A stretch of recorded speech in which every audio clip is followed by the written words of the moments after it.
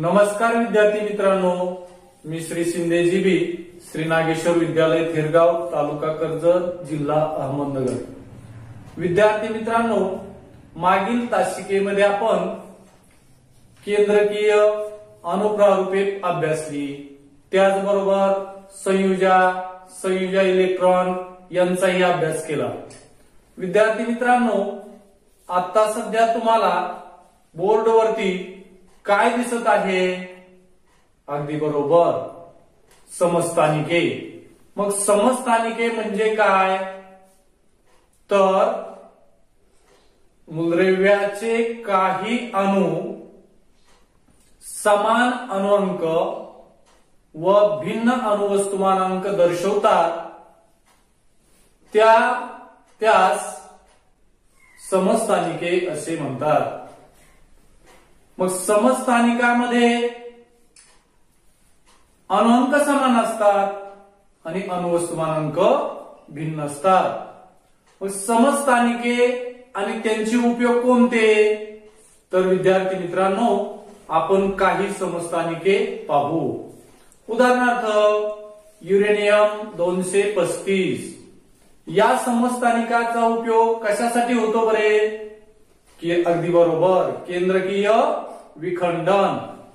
Cobalt साठ या समस्थानिकाचा उपयोग कॅन्सरवरील वैद्यकीय उपचारामध्ये होतो. आयोडीन एकशे एकतीसचा उपयोग. तर आयोडीन एकशे एकतीसचा उपयोग ग्वायटरच्या उपचारामध्ये होतो. सोडियम चोवीसचा उपयोग. अगदी बरोबर. नळातील चिरा शोधण्यासाठी. कार्बन चौदाचा उपयोग जीवाश्मांचे वय ठरवण्यासाठी. तर मग आता विद्यार्थी मित्रांनो आपण पुढील भाग अभ्यासूया अणुभट्टी.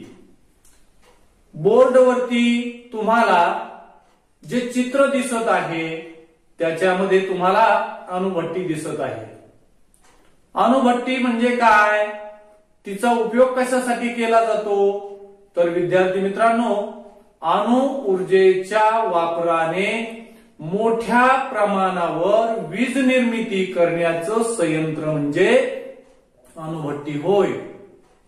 आता या ठिकाणी अणुभट्टीमध्ये शृंखला अभिक्रिया घडते आणि युरेनियम सारख्या समस्थानिकाचं केंद्रकीय विखंडन होते.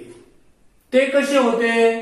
तर मंद गती न्यूट्रॉनचा मारा युरेनियम वरती केल्यानंतर युरेनियमच्या केंद्रकाचं विखंडन होऊन युरेनियमच्या केंद्रकापासून बेरियम आणि क्रिप्टॉन अशा प्रकारचे केंद्रक तयार होतात.